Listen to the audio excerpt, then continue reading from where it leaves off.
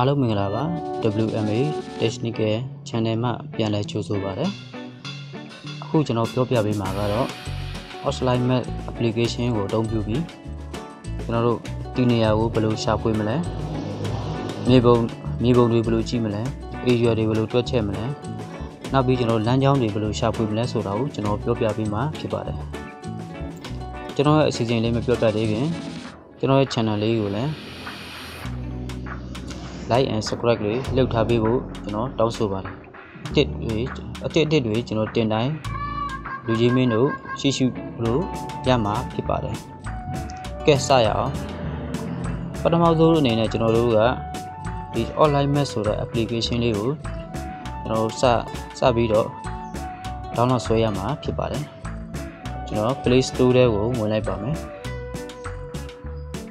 Play Store ထဲမှာကျွန်တော်တို့က offline map ဆိုပြီးမှကျွန်တော်တို့ရှာလိုက်မှာဖြစ်ပါတယ်။ဖွင့်ထားပြီမို့လို့ကျွန်တော်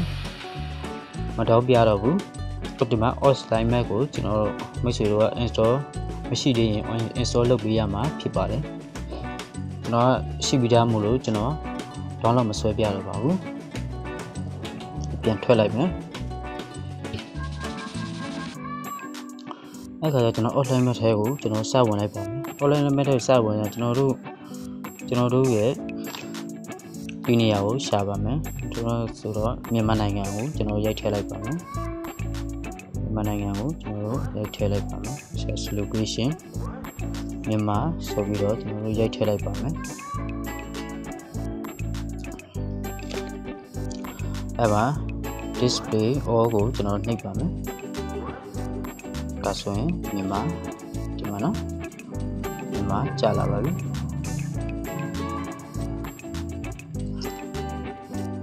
ဟုတ်ပြီမြန်မာကြာလာပြီဆိုတော့ကျွန်တော်တို့ကမြန်မာမျိုးထွက်လာပြီဆိုတော့ကျွန်တော်တို့ကဒီအလန်တိုင်းလေးကိုကျွန်တော်နှိပ်လိုက်ပြီပြီးတော့ display placement ကိုကျွန်တော်နှိပ်လိုက်ပါမယ်ဒီမှာ miss ဘေးနားမှာကျွန်တော် miss လေးမိတ်လိုက်ပါမယ် အဲ့ဒါကိုကျွန်တော်တို့ကဒီပုံအောက်ခံပုံကိုကျွန်တော်တို့ Google Map နဲ့ကြည့်ကျင်နေဆိုရင်ဒီကောင်လေးကိုကျွန်တော်နှိပ်လိုက်ပါမယ်အဲ့မှာ display display map ကိုကျွန်တော်နှိပ်လိုက်မယ် display map ကိုနှိပ်ပြီးတော့ကျွန်တော်တို့ဒီမှာ file ပုံလေးနဲ့အောင်ကျွန်တော်နှိပ်လိုက်မယ်အဲ့ကကြတော့ Google Satellite Map ကိုကျွန်တော်တို့နှိပ်လိုက်ပါမယ်ဒါဆိုရင် Google Satellite ကျလာပါပြီ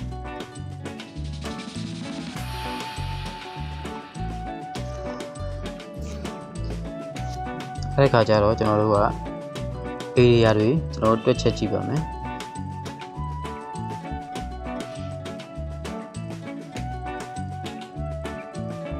ဒီမှာကျွန်တော် area တစ်ခုကိုကျွန်တော်တို့တွက်ကြည့်ပါမယ်။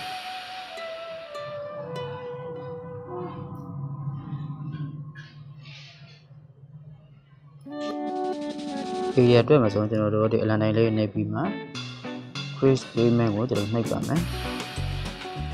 အဲ့ဒီမှာကျွန်တော် area ကိုရွေးပါမယ်။ area ကိုရွေးပြီးမှနာမည်ကျွန်တော်နာမည်တစ်ခုပေးလိုက်ပါမယ်။ okay ပေးလိုက်ပါမယ်။ဒီမှာကျွန်တော်တို့က draw နဲ့တွားမှာလား draw နဲ့ဆိုရင်တော့ဒီလိုပုံစံတိုင်းကျွန်တော်တို့ရွှေ့လိုက်ရင်ကျွန်တော်တို့တောက်လျှောက်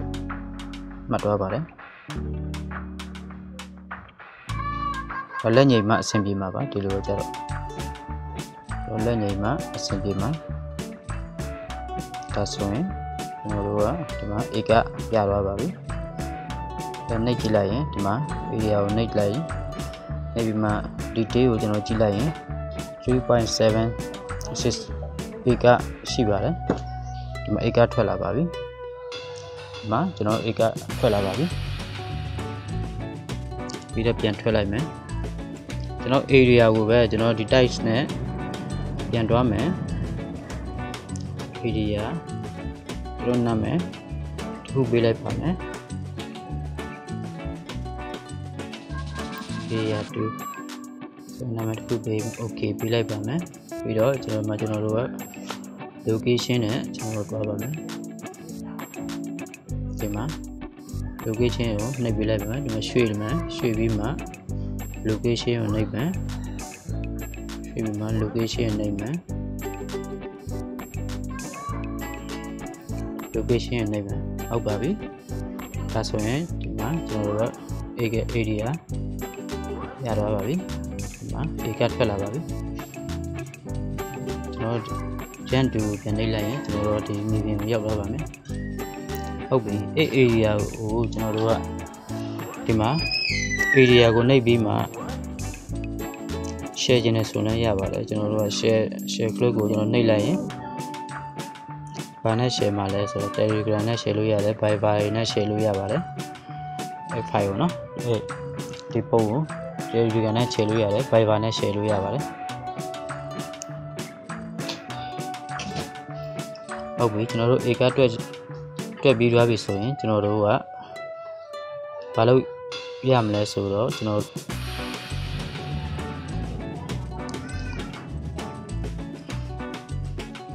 ဒီမှာเนาะတခုပြောချင်တာကကျွန်တော် satellite map ဆိုတော့ကျွန်တော်နာမည်လေးတွေမကြပါဘူး satellite နာမည်လေးတွေမကြပါဘူးကျွန်တော်တို့ကဒီ Google satellite map ဆိုတော့နေဒီနေရာလေးတွေဟိုလည်းဒီမှာမြို့နာမည်လေးတွေကျွန်တော်မတွေ့ရဘူးเนาะမြို့နေရာလေးတွေမတွေ့ရဘူးဆိုတော့ကျွန်တော်တို့မြေပုံတစ်ခုကျွန်တော်ပြောင်းကြည့်ပါမယ် display map ကိုကျွန်တော်တွားပါမယ် display map မှာကျွန်တော်တို့ကဒီမှာ Google satellite ဆို satellite map ကိုကျွန်တော်တုံထားတယ်အဲ့ဒါကဒီကမြို့အမည်တွေပါရကျွန်တော်မကြလာဘူးเนาะမပြအောင်ဆိုတော့ကျွန်တော်ဒါလေးကို file ပုံစံလေးနဲ့နှိပ်လိုက်ပါမယ်နှိပ်ပြီးတော့ကျွန်တော်တို့ Google Hibert ဆိုမှကျွန်တော်နှိပ်လိုက်ပါမယ်ဗျာ Google Hibert ဆို Hibert ဆိုတော့ကျွန်တော်နှိပ်လိုက်ပါနှိပ်လိုက်တဲ့ခါကျတော့ Google Hibert နဲ့ဆိုရင်ဒီမှာကျွန်တော်တို့မြို့နာမည်လေးတွေကျွန်တော်ထွက်လာပြီเนาะ မြို့နာမည်လေးတွေထွက်လာပါပြီအဲဒီခါကျတော့ကျွန်တော်တို့ကဒီမှာမြို့တစ်မြို့နဲ့တစ်မြို့ကိုကျွန်တော်တို့လမ်းကြောင်းတွေကျွန်တော်တို့ကြည့်ပါမယ်မြို့တစ်မြို့နဲ့အကွာဝေးတွေကျွန်တော်တို့ level လမ်းတွေတွားရမလဲဆိုတော့ဒီဘုံအလိုအလျောက်ကျွန်တော်ပြပေးမှာဖြစ်ပါတယ်ဥပမာကျွန်တော်က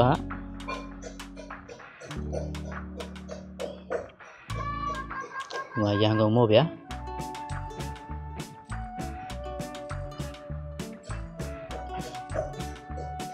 ဥပမာရန်ကုန်ရန်ကုန်ပေါ့ဗျာရန်ကုန်ကိုကျွန်တော်တို့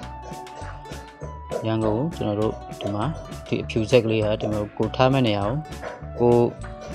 စတယ်မဲ့နေရအောင်ဒီနေရာကိုကျွန်တော်တို့အရင်ထောက်ထားလိုက်ပါမယ်ဒီမှာထားထားပါမယ်ရန်ကုန်ဆိုမှထားထားပါမယ်ဒီနေရာကိုမှတ်မဲ့ဒီနေရာကိုကျွန်တော်တို့ထားထားပါမယ်အဲ့ခါကျတော့ကျွန်တော်တို့ display create a Christmas ကိုကျွန်တော်နှိပ်ပါမယ်နှိပ်ပြီးရင် waypoint ကိုကျွန်တော်နှိပ်ပါမယ် waypoint ပြီးတော့ဒီမှာကျွန်တော်တို့ icon လေးတွေရှိပါတယ် icon လေးတွေကကျွန်တော်တို့ placement placement ဆိုတော့ကျွန်တော်တို့ကြိုက်တဲ့ဟာလေးကိုကျွန်တော်ရွေးမှထည့်ပါမယ်မ future လည်းထည့်လို့ရတယ်အများကြီးเนาะဒီမှာအောက်မှာ icon လေးတွေအများကြီးတူနဲ့ပတ်သက်တဲ့ဟာလေးတွေကျွန်တော်ထည့်လို့ရပါတယ် water force အများကြီးရှိပါတယ် sport တို့ပါတော့အများအများကြီးရှိတယ်အဲ့ခါကျတော့ကျွန်တော်ကတော့ place ဟိုဒီနေရာပဲမှတ်မှာဆိုတော့ place match ကိုကျွန်တော်မှတ်လိုက်မယ်အဲ့ဒါကျွန်တော်ဒီအနေအနေရောင်လေးကိုကျွန်တော်ယူလိုက်ပါမယ်ရွေးပြီးမှကျွန်တော်နာမည်တစ်ခုပေးပါမယ်ဒါလည်းဆိုကျွန်တော်ရန်ကုန်ရန်ကုန်အမှတ်ကိုရန်ကုန်မှတ်မှာဆိုတော့ရန်ကုန်မြို့နာမည်ပဲထည့်လိုက်ပါမယ်ရန်ကုန်ဟုတ်ပြီ okay ပေးလိုက်ပါမယ်ဒါဆိုရင်ကျွန်တော်တို့ကကိုတွားမဲ့ဒီမှာကိုကရန်ကုန်မှာ နေတယ်ဆိုရင်ကိုတွားမဲ့မြို့ကိုကျွန်တော်တို့မှတ်လိုက်ပါမယ်ကိုတွားမဲ့မြို့ကိုကျွန်တော်တို့မှတ်လိုက်ပါမယ်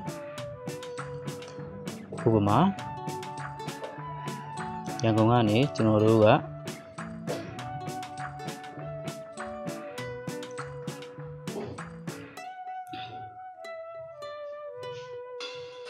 ရန်ကုန်ကနေကျွန်တော်တို့ကတောင်ကြီးကို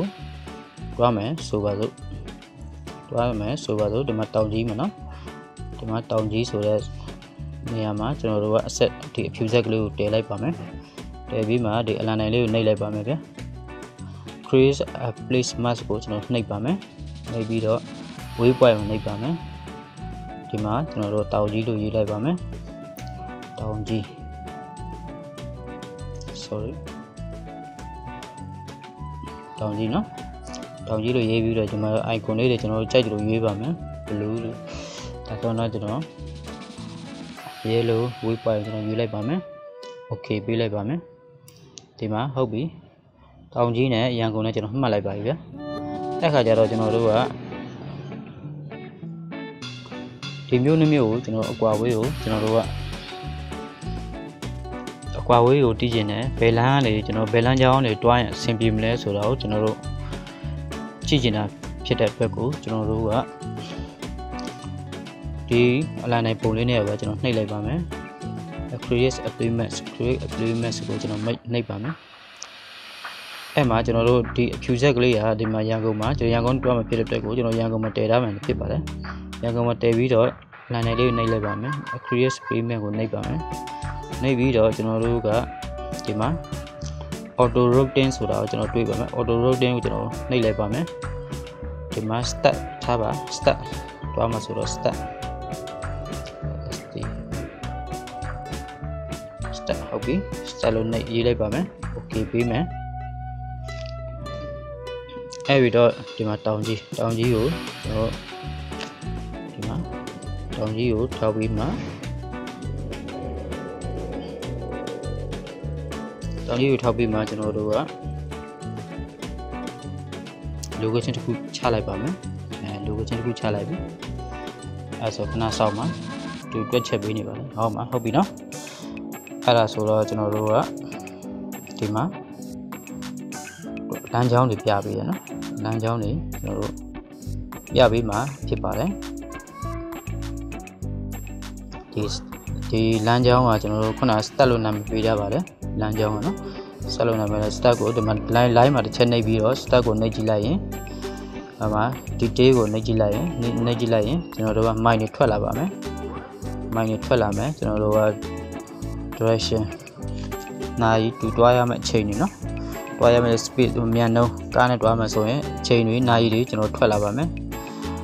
အရှိတွေခရီးအရှိတွေနော်ခရီးအရှိတွေကျွန်တော်ထွက်လာမယ်အဲ့ဒါကိုကျွန်တော်တို့ကဒီမြေပုံကိုပြန်ကြည့်တယ်ဆိုရင် jump to ကိုကျွန်တော်နှိပ်ပြလိုက်ရင်ကျွန်တော်မြေပုံပြန်ရောက်သွားပါမယ်ဒါပဲဒါပဲတကယ်ချင်းတယောက်ရှိကိုကျွန်တော်တို့ပို့ကျင်တယ်ဆိုရင်ဟိုအတိုင်း တကယ်ချင်းကမတိလို့လမ်းကြောင်းတွေပါလေပြောပြခိုင်းရင်ကျွန်တော်တို့ဒါလေးကိုနှိပ်ပြီးမှ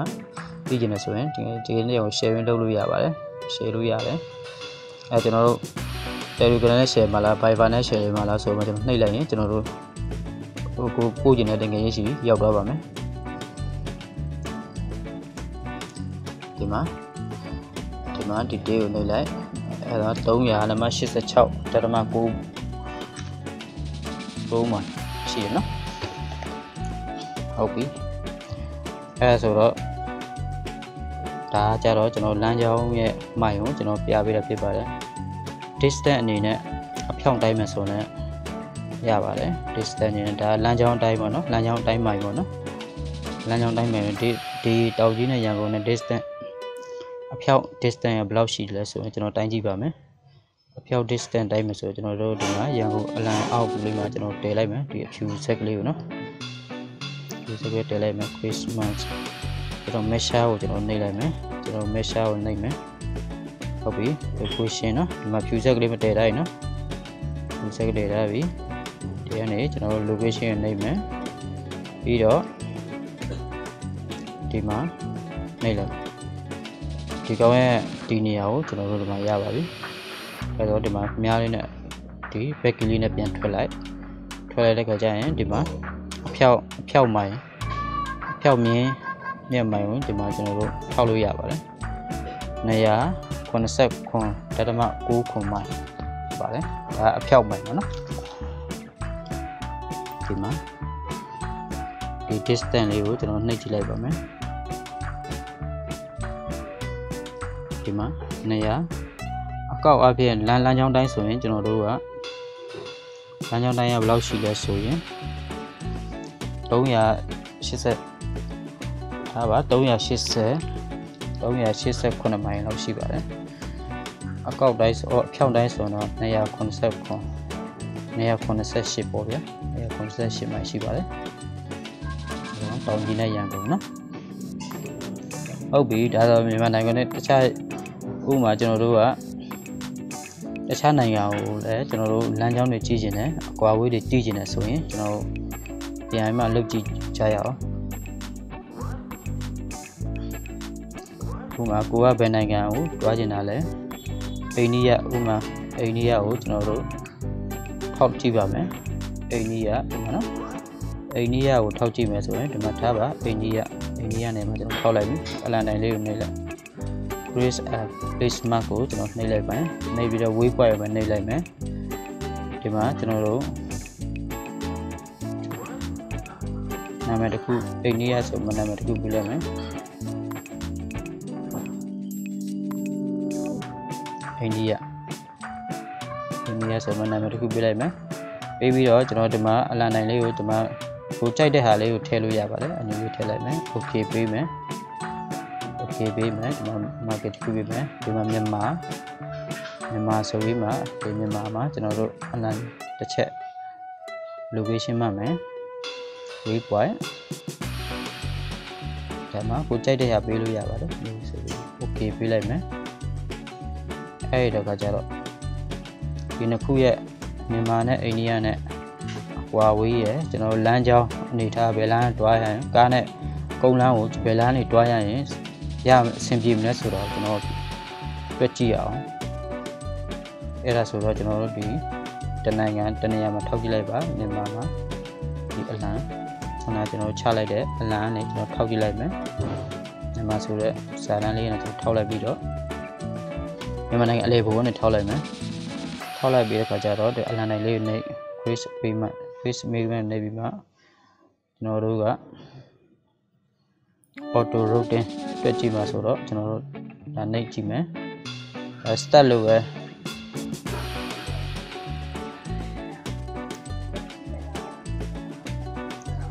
SD